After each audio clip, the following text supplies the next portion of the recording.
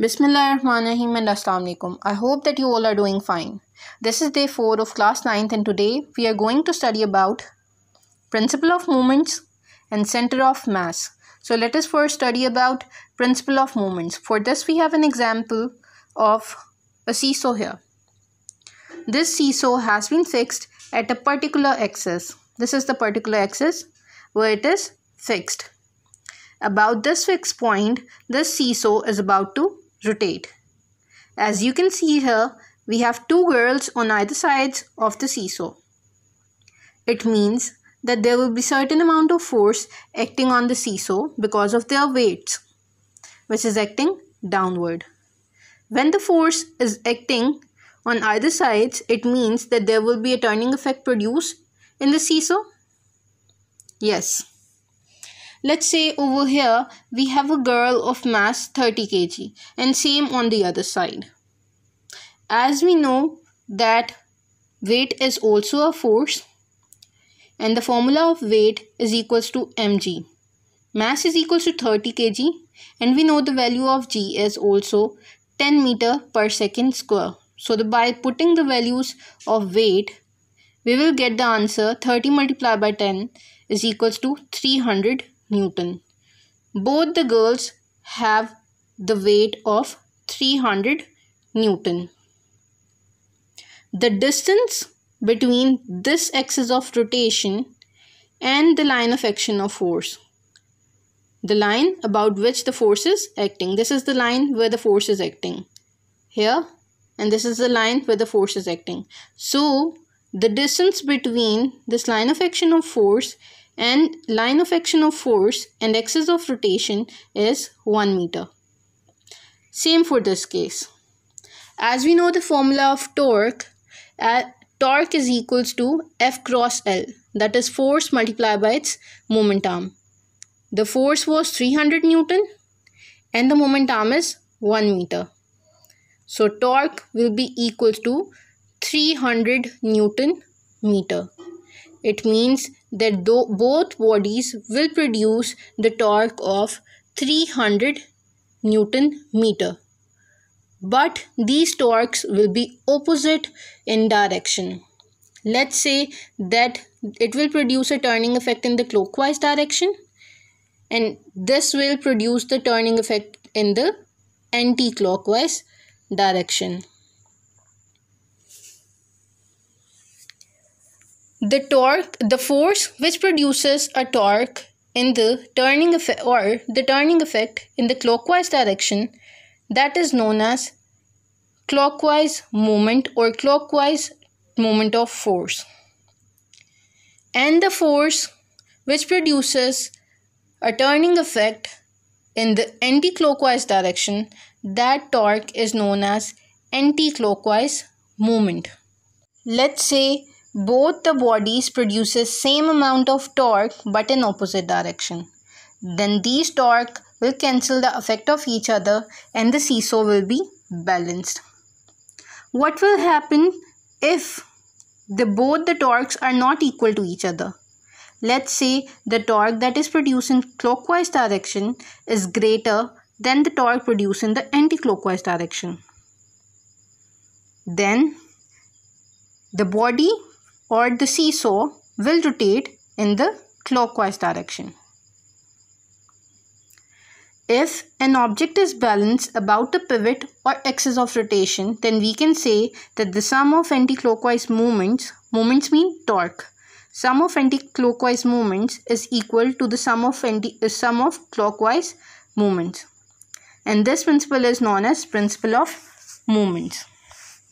It means that if a body is balanced, it means that the sum of clockwise moments are equal to the sum of anti-clockwise moments. But for principle of moments, we must obey these two conditions. Firstly, the forces must be balanced and secondly, the torques must be balanced. If the torques are balanced, it means that they will cancel the effect of each other and the body will be balanced. From this we conclude that the principle of movement is the sum of clockwise movement about a point is equal to the sum of anti-clockwise movement. It means that the sum of moments about a point is equals to 0. Principle of moments. Let's see an example here. What happened if both the weights are different? Is the torque produced at, bo at both sides will be equal? Let's see. We have a weight of 10 Newton on this side and a weight of 20 Newton on this side. Does the body will be balanced? Yes, it can be balanced by adjusting the moment arm. The moment arm here is 1 meter while the moment arm here is 2 meter. As we know that torque is equals to F into L, here the force is 10 Newton and the moment arm is 2 meter. So the torque produced in the anti-clockwise direction is 20 Newton meter. Let's see at the clockwise direction. Here the force acting is 20 Newton and the moment arm is 1 meter. It means the distance between the axis of rotation and the line of action of force is 1 meter. So the torque produced here will be 20 Newton meter. So both have same amount of torque but in opposite direction. So they will both cancel the effect of each other and the body or the seesaw will be balanced. We have an example here. It's an example of a uh, of a spanner. Firstly, if we are applying a force to turn a spanner in clockwise direction, it will tighten the nut and that torque will be known as clockwise moment And if we want to loosen a nut and we are applying the force in the anti-clockwise direction, then the torque produced here will be known as anti-clockwise movement. I hope you understand principle of moments that if we want to balance any body, we must say that the anti-clockwise movement should be equal to the clockwise movement. We have a quiz here which is related to the previous example like this. You have to solve this quick quiz as your assignment. Example number 4.4 on page number 93 of your textbook. The statement of this example is a meter rod which is supported at its middle point O. This is a meter rod which is supported at its middle point O. The block of the weight 10 Newton is suspended at point B. So this is point B and this is the block of 10 Newton which is W2. So W2 is equals to 10 Newton and it is 40 centimeters from O. It means the moment arm between the axis of rotation and the line of action of force from B is 40 centimeters. But we have studied that the unit of moment arm is meter. So we want to convert the centimeters into meter. We will divide it by 100. It will be 0.40 meters. Find the weight of the block that balances it at point A that is 25 centimeters from O. We don't know the weight of the body. We have to find out the weight of this body at point A and the moment arm from O is 25 centimeters. To convert it into meters, it will be 0.25 meters. As we know from the principle of moments that clockwise movements is equals to the anti-clockwise movements. Clockwise movements, let's say we're acting at W2, weight 2 and anti-clockwise movements were acting at W1.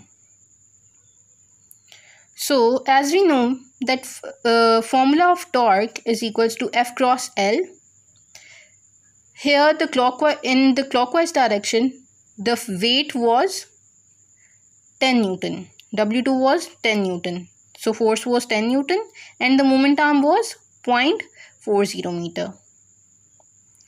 And what about the weight here we don't know about it so we will represent it by w1 and the distance or perpendicular distance or moment arm is 0.25 so by putting the values we can find out the value the value of the weight that is w1 and the value is 16 newton so 16 newton weight of the block is required to balance the meter rod. The next topic is center of mass. For this, we need to understand this example. Consider a system of particles A and B connected by a light rigid rod. This is shown in a figure. This is particle A and this is particle B. Both are connected by a light rigid rod as shown in a figure. In a system of particles, we have an equilibrium point and that point is known as its center of mass. Now what is that equilibrium point and what is its application? Equilibrium point is the point where the way, eh, where the body is balanced or it will not produce any turning effect. Let's say if I am applying a force here, it will produce a turning effect in that direction. You can see here. Now, let me apply a force in on the heavy particle direction. Now, this will produce a turning effect in that direction. So, what should we do? Let me apply a force here.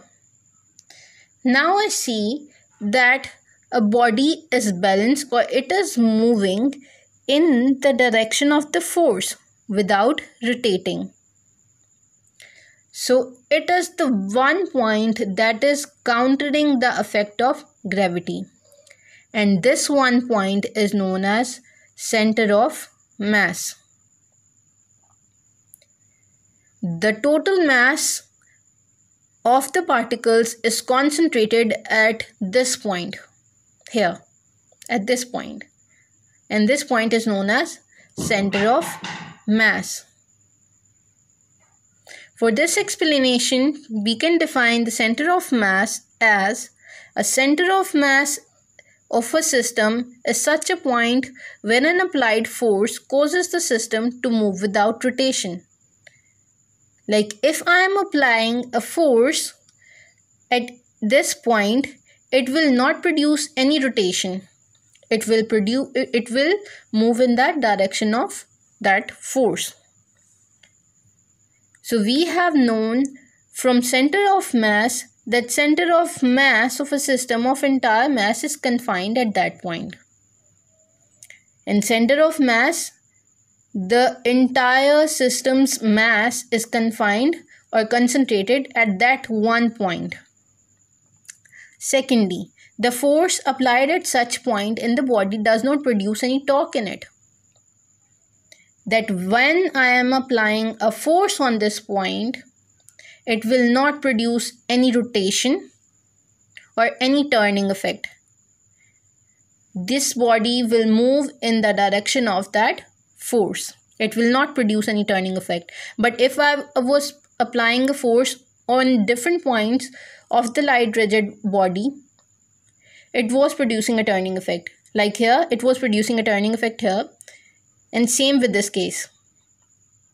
But in center of mass the point where the center of mass is acting the body will not produce any rotation as well as it will produce it will move in the direction of force. So these are the two points related to the center of mass. Your assignment number 2 is to define the principle of moments and center of mass and also explain its example related to it. I hope you understand principle of moments and center of mass. Thank you so much and allah hafiz